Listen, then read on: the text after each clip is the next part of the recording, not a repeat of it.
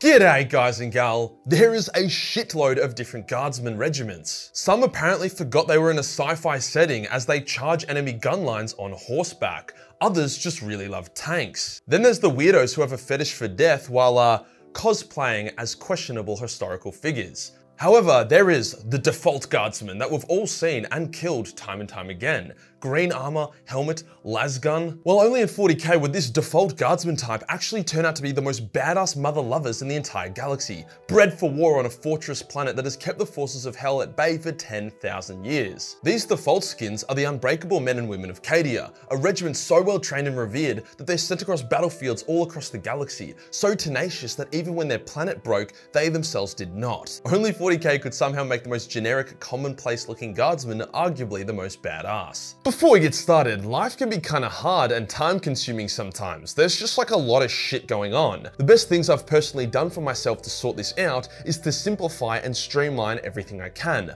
The biggest of those being food. What if I told you that there was a way to eat more delicious, higher protein, healthier food with no prep time and next to no post-feeding cleanup required? All of that for cheaper than your current food. You'd probably call me a lying drongo, but cheers to today's sponsor, Factor, that is a complete reality. Factor works by pre-cooking these amazing gourmet meals, sealing them and sending them to your doorstep. Then all you need to do is microwave them and bam, you are having an S-tier meal at no effort. The food variety is nuts, so you'll never get sick of it, and you can even choose what meals you want to get. Now some microwave meal brands freeze their meals so it loses its freshness, but not Factor. This stuff tastes like it came straight from the kitchen. However, the best part about all of this is that by using my link or code POGMajorKillNov60, you'll get a massive 60% off on your first box. That is an unbelievably good discount, and you would actually have to be a bit of an idiot to not at least try one box at that rate to see if you like it. It has been a massive game changer for me, and I know for a fact that any of you that sign up won't regret it in the slightest. Cheers to Factor for sponsoring this video. Today we'll be going over the Guardsmen of Cadia, detailing the rise of Cadia, the process of creating a Cadian warrior, some of their spiciest battles, and what the Cadians are currently up to since their homeworld went kaput. Uh, let's get into it.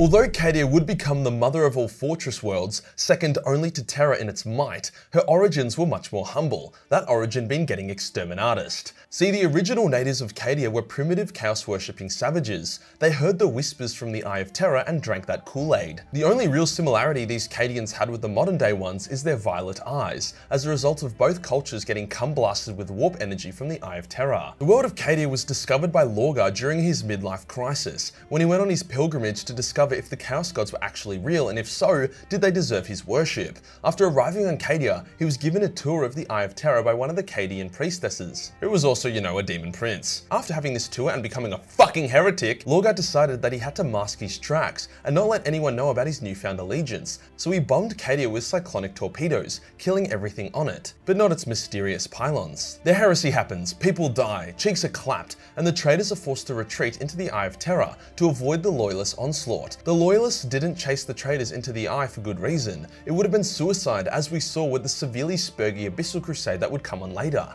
So instead of chasing them into hell, the Imperium began colonizing and fortifying all the sectors surrounding the Eye, Foremost was Cadia, as due to the Cadian slash Necron pylons, it was the only reliable route that a large military force could take out of the Eye. However, the Imperium had a lot of lessons to learn. It initially treated Cadia like an average Imperial world with average buildings, buildings the traitor legions laughed at as they steamrolled everyone. When the Chaos forces were eventually repelled, Cadia was restructured, becoming one big fortress with bunkers, trenches, big guns, and absolutely everything everywhere. No matter where your invasion force would land in Cadia, it would be heavily defended. The attitude of the people changed as well. Instead of military service just being like an option like most Imperial worlds, it became mandatory. At age 5, Cadians had already mastered stripping, cleaning, and reassembling a las rifle. Age 6, they were crack shots. And before their 7th birthday, they were all taught about the dangers of chaos, the warp, and psykers. Basically, Cadia was Israel on steroids. The nuts thing about this is that most Imperial citizens aren't allowed to know about chaos or the warp. Entire worlds have been genocided after a chaos incursion to act as a cover-up, but Cadians are privy to Inquisitor level secrets while they are still a child. I mean, it makes sense. After all, you can literally look up and see a gaping butthole in the sky leading to hell. That combined with the mutation, chaos cult, and psycho rate on Cadia being super high means that it's very practical for Cadians to be in the know. This also means they end up being quite resistant to chaos, as they know what they're trying to resist. So began the origin of the elite Cadian shock troopers. Men and women born and raised for war, specializing in killing the literal forces of hell. It's no wonder why they are the go-to guardsman regiment. A benefit of having an entire planet of warriors is that they are always fucking and breeding, creating a massive stream of recruits that are in constant demand across the galaxy. The prevalence of the Cadian shock troopers ties directly to the actions of Chaos. During the War of the Beast, the Age of Apostasy, and all those thousands of cooked years where, where Chaos just kinda licked its wounds while either Xenos or the Imperium tried to fuck itself, the Cadian shock troopers were kinda sidelined, watching shit happen from afar as they continued their vigil. However, since Chaos got all horny for violence in the 41st millennium, the Cadian shock troopers have been the first and foremost guardsman regiment to deal with it. They have driven back Astartes as mere mortals on numerous occasions, defeating the Black Legion, Night Lords, Red Corsairs, and most of the other famous arsehole Astartes. They've crushed countless Chaos uprisings around the Cadian Gate, fought off Eldar raids. Mad Lads have even taken on Chaos Titans, sometimes winning. They may not have the suicidal devotion of the Death Korps, nor the spicy tactics of the Elysians, but they have time and time again demonstrated their valor and reliability the ultimate jack of all trades regiment. So what is actually unique about them compared to other regiments? What culture, tactics, or training do they get that sets them apart? Well, unlike numerous other regiments who serve in their respective planetary defense force for a while until they are drafted into the Imperial Guard, often begrudgingly, the Cadian regiment is a bit more strict and considered a massive honor, despite, you know, pretty much everyone doing it. First they serve in their PDF, then when they join the Cadian shock troopers, they have to put on their training wheels and have a white stripe on their helmet. These white shield Cadians, as they're called, need to survive active combat on a battlefield before they are fully eligible to consider themselves a part of the Cadian shock troopers. This means every single generic Cadian guardsman you have ever seen has either survived getting shot or swung at, then most likely gone on to take a life, if not dozens. For Cadians, there is no greater purpose than military service. Their command structure has been simplified so that the unit doesn't lose much cohesion when someone with a big hat gets shot in the face. Most of the time, a Cadian regiment is commanded by a noble born son or daughter of Cadia, generally a colonel. This is usually all the command structure they need. However, especially fuck off massive battlefields will bring in other ranks, such as Lord General Militants and that fun stuff. Other than the colonel, commissars are very common amongst the Cadians, however not because they need to maintain courage via spontaneous executions. It's very rare that a Cadian needs a bolt gun to the face to motivate his comrades. No, commissars are more so there to ensure discipline as well as to look out for signs of corruption, something commissars are generally experts at. As I said before, Cadia was getting cum blasted by the Eye of Terror's influence, so there was always a shitload of chaos cults and uprising happening all the time. The reason why I flag discipline as a potential issue is because a lot of the Cadians have this dry, cynical humor as a result of being the first line of defense against hell, so they can kind of, you know, crack jokes at inappropriate times.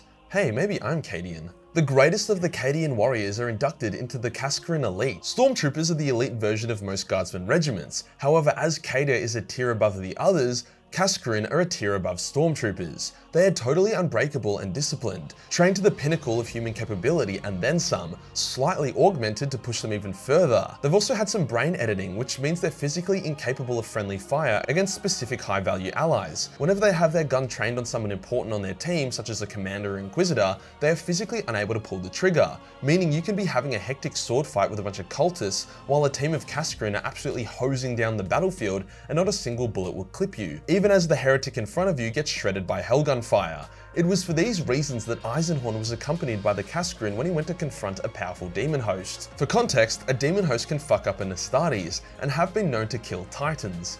On top of this, their gear is top tier, fully enclosed suits meaning they can fight in the void or in toxic environments, as well as them using hellguns, the elite version of the standard loadout. Sometimes their sergeants will even wield power swords, not to be fucked with. So what are the Cadians currently up to? Well, as we know, their planet broke before the Guard did. Abaddon's 13th Black Crusade peaked with him throwing a Blackstone fortress at Cadia like a big ass meteor, cracking open the planet and killing most of the people on it. Some were able to escape, whilst millions more Cadians were at different battle zones in the galaxy, so this didn't spell the end of the Cadian shock troopers. They did however lose a lot of people, their planet and their Lord Commander. Since then they have actually somewhat settled on a new world, naming it New Cadia, and whilst this does mean that Cadian shock troopers will continue to grace the setting in large numbers, it also also means that if they are able to survive a few hundred or thousand years, their culture will largely be erased. Their violet eyes will fade, and their constant need for vigil and training that was essential on Hell's doorstep will diminish.